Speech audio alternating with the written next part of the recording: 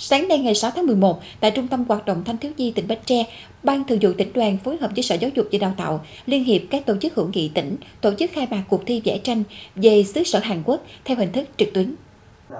Cuộc thi nhằm tạo sân chơi lành mạnh, bổ ích, góp phần bồi dưỡng và phát triển khả năng hội họa, mỹ thuật cho thiếu niên di động, thu hút hơn 100 em thanh thiếu nhi đang hoạt động trên địa bàn tỉnh tham gia. Cuộc thi được chia làm 3 bảng, bảng A là học sinh khối tiểu học, bảng B học sinh khối trung học cơ sở, bảng C học sinh trung học phổ thông và trung tâm giáo dục nghề nghiệp, giáo dục thường xuyên.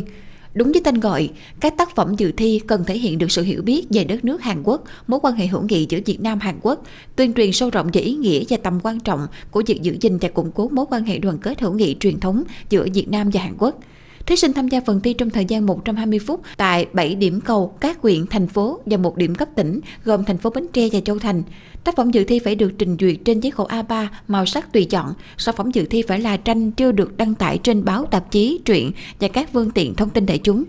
Căn cứ vào kết quả dự thi, ban tổ chức sẽ chọn ra các tác phẩm để trao thưởng. Cuộc thi sẽ có một giải nhất, hai giải nhì, năm giải ba và bảy giải khuyến khích.